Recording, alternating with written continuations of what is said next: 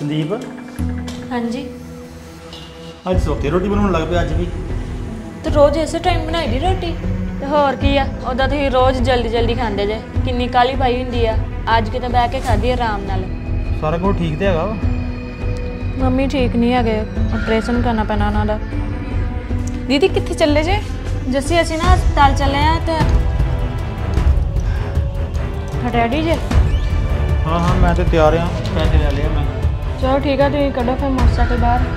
ਚਲੋ ਜੇ ਰੱਬ ਨੇ ਸਾਡੀ ਕਿਸਮਤ ਵਿੱਚ ਗੱਲਾਂ ਸੁਣੀਆਂ ਲਿਖੀਆਂ ਸੁਣਨੀਆਂ ਤਾਂ ਪੈਣੀਆਂ ਹੀ ਨਾ ਫਿਰ। ਕਟਾਈ ਜਾਊਂਗਾ ਬਾਕੀ 25000 ਪਹਿਲੋਂ ਹੈਗਾ ਸੀਗਾ ਆਪਣੇ ਕੋਲ। ਚੱਲ ਗੁੱਡੀ ਦਾ ਵਿਆਹ ਵਧੀਆ ਦੇਖਿਆ ਜਾਊਗਾ। ਹਾਂਜੀ।